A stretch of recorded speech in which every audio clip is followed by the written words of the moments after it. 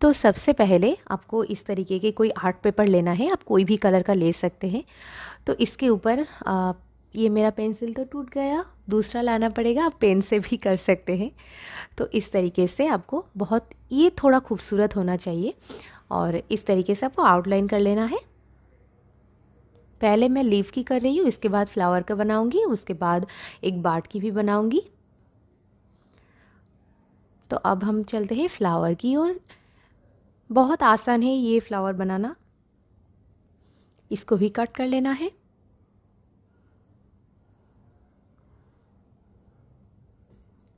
Side से cut कर लूँगी। अभी एक बार्ड। बट ये आ, अब देखेंगे वीडियो जब मैं पेंट करूँगी।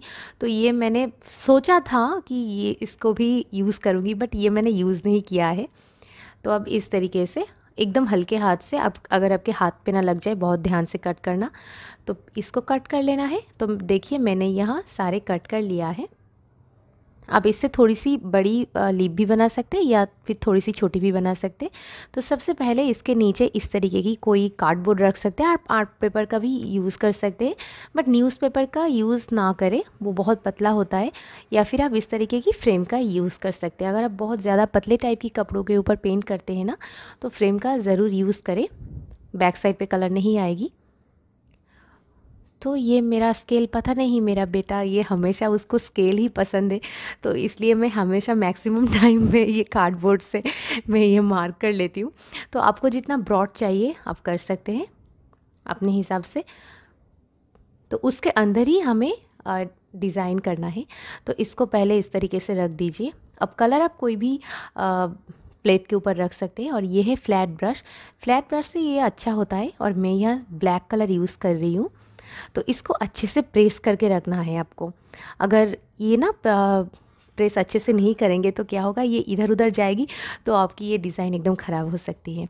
तो ये देखिए कितना ज़्यादा खूबसूरत है।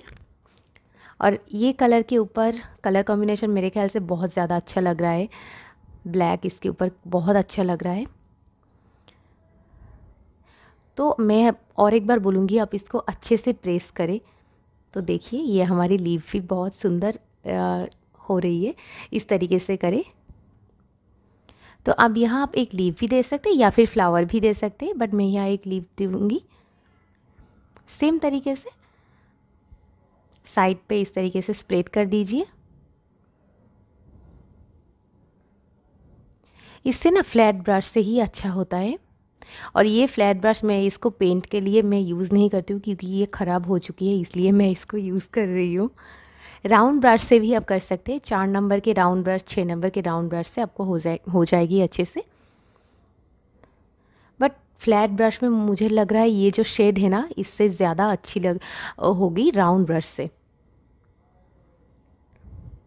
तो ये आपको जितना लंबा चाहिए आप कर लीजिए इस तरीके से। ये देखिए कितना खूबसूरत है। आप इससे छोटी भी फ्लावर बना सकते हैं या फिर थोड़ी बड़ी भी बना सकते हैं। बस तरीका इसका सेम ही रहेगा। बहुत ध्यान रहे, हाथ से कलर इधर उधर ना लग जाए, क्योंकि मेरे ये बहुत ज़्यादा होती है, हाथ से कलर ड्रेस के इस साइड पे, उस साइड पे लग जाती है, पर उसको मैनेज करने में बहुत प्रॉब्लम होती है। और ये कलर थोड़ी टाइम बाद ये वॉश के बाद भी कुछ नहीं होती है। ऐसे रह जाती है। तो ये देखिए, मेरी तो ये ख़त्म होगी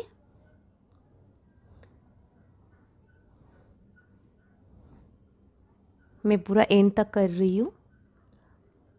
तो ये ऊपर का ना, इसका, यहाँ मैं थोड़ी सी यूज़ करूँगी, नहीं तो ये थोड़ा खाली खाली सा लग रहा है मुझे।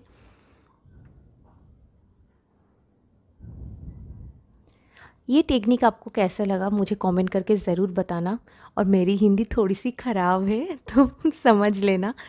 तो यहाँ मैं ग्रीन कलर यूज़ कर रही हूँ और राउंड ब्रश आप कोई भी ग्रीन यूज़ कर सकते हैं जैसे सैप ग्रीन आ, फिर टाकोइज ब्लू उसको टाकवाइज ब्लू बोल दे बट वो ग्रीन कलर की एक शेड है, बहुत खूबसूरत है, मुझे बहुत पसंद है। बट क्या है, वो थोड़ी सी डार्क है तो यहाँ मैंने ऑलरेडी ब्लैक कलर यूज़ किया है, इसलिए मैं उसको यूज़ नहीं कर रही हूँ। नहीं तो वो पर्सनली मुझे बहुत पसंद है। तो इस तरीके से आपको लीव्स को करना है। ये मैं सोच रही थी ऑनेस्टली नहीं करूँगी बट बाद में मैंने देखा, ये बहुत ज़्यादा खाली खाली सा लग रहा है तो करने से अच्छा ही लग रहा है मेरे ख्याल से। अगर आपको अच्छा नहीं लग रहा है तो इसको आप स्किप भी कर सकते हैं, क्योंकि सबके पसंद अलग अलग होती है।